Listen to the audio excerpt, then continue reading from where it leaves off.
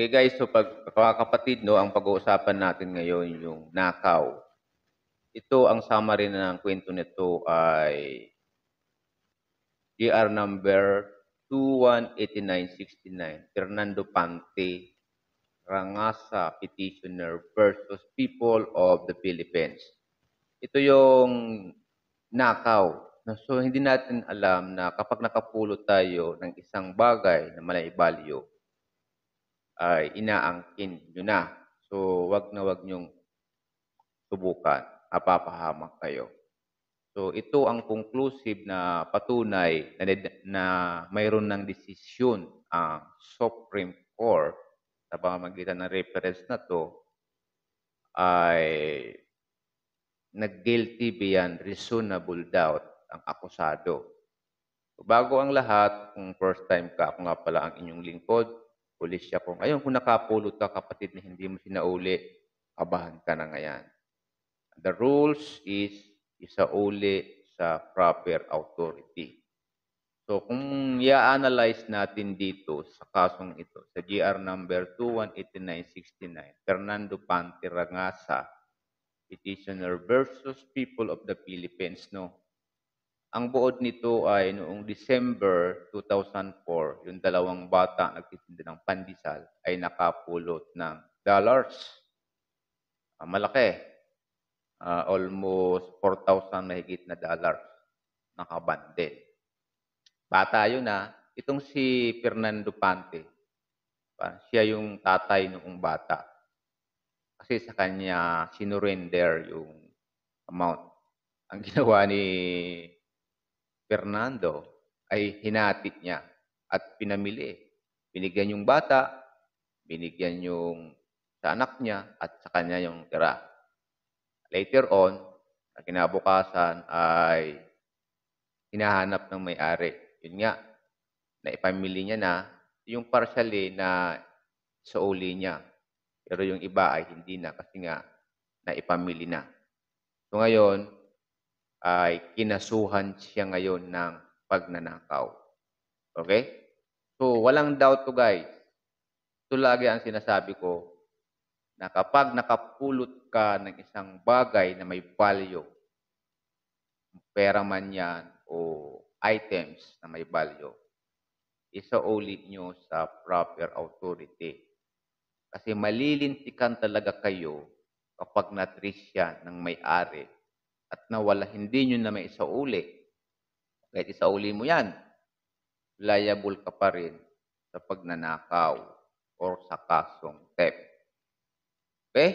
To be short and summary, ito ang pag-aralan nyo. I-type nyo sa Google yan, GR number 218969 at kayo na mismo ang mag-aral. So, i-guide ko lang kayo, binigyan ko lang kayo ng reference para patunay na totoo ang sinasabi natin. So, na public documents yan, guys. Kaya wala po yung halong bola. So, ano ang parusa sa kanya? Later on, oh, ito, oh. So, try nating i-scratch. So, decision. Decision na na siya, no? So, 2004 nangyari yan, no? So, ngayon, hanapin natin yung decision, no? Ito yung, ano, eh, narrative ng kaso. So, i-review nyo yan. Nasa public documents yan, guys. Nasa Google yan. So, hindi ko na yan iisa-isahin. Hindi ko na ina-narration sa inyo yung narration. Shortcut na lang natin yung sentensya. Okay? Yung sentensya, nasaan na ba? Uh, sentensya. Ayan, ayan yata yan. So, move on tayo beyond reasonable doubt. Ayan. Uh, wala pa. I-move tayo. Gusto ko lang ipakita sa yung sentensya.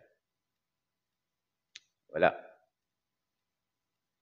So, grabe talaga to guys. So, maraming nagkakamali dito na overlook nila ang mga ganitong bagay. So, wag na wag po nating baliwalain ito kahit po yan ay napulot nyo. Wag na wag nyong subukan. Okay? Ayan yung mga mga narration ng mga debate sa korte. Kaya sana yung ano, nakita ko na yun, yung may fine na ito, bata yan. If however the fine necessary, RA, or ang violation niya ay RA 308 ba yan? Okay? Wala yung decision. Ah, ito na yata. Ayan. The petitioner Fernando Pante sentenced to suffer penalty of imprisonment. Uh, imprisonment 4 months, 20 days, and arresto mayor. Minimum 2 years, 11 months, 10 days of prison correctional maximum. He also ordered to pay private complainant the amount of 59,120 as a actual damage with interest of rate of 6% per annum for date of penal penalty of this decision. So may so order. Okay?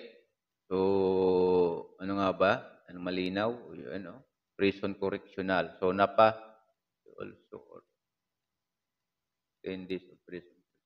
4 months. O, di ba? Naparusahan siya ng 4 months, 20 days. O, o kung magalala, prison correctional lang naman. So, almost na niya. Magkano uli yung ninakaw? Almost ano to eh.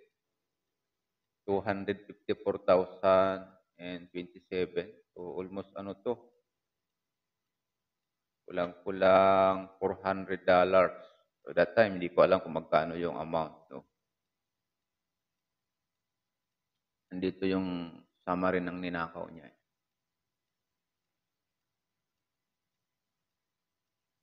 Saan ba yan? Hindi yan buka-buka guys ha. So, true story yan.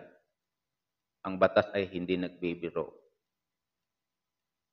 Kung yun ang tadhana ay mapagbiro, so ang batas ay hindi nagbibiro.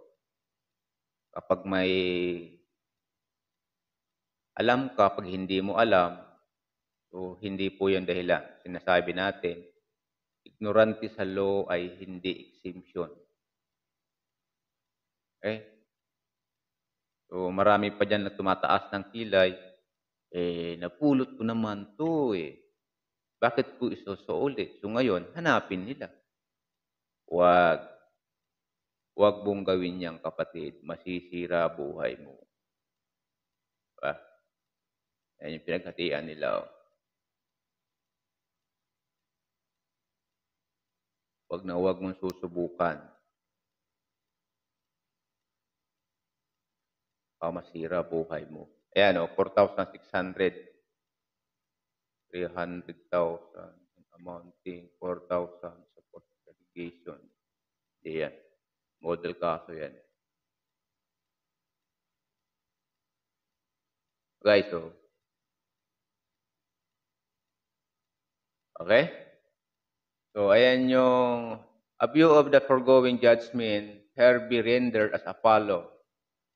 Finding as accused Fernando Panti beyond guilty beyond reasonable doubt of the crime theft under Article 308, Part 1 of Revised Penal Code, imposing the penalty of imprisonment ranging from two years and four months and one day. Prison correctional as a minimum. Two, nine years, one day to prison mayor. O pwede pang umabot ng nine years pa lang yung sentensya niya, guys. So nakakalungkot na ito ay kaignorantihan sa batas, kaya nakulong siya. It's wish eh, kung, kung na, nanood siya kay pulisya ko that time, eh wala pa tayong channel noon. Or sa ibang channel, sana ito ay napigilan na pagkakulong. Okay? So maraming salamat guys. So, yan po ang true story natin na mailalahad ngayon sa araw na to. Sinikap ko talaga yung maipaabot sa inyo para hindi, da, hindi para takutin, no? para maging aware tayo sa mga ganito senaryo. So thank you for watching guys. See you again my next video.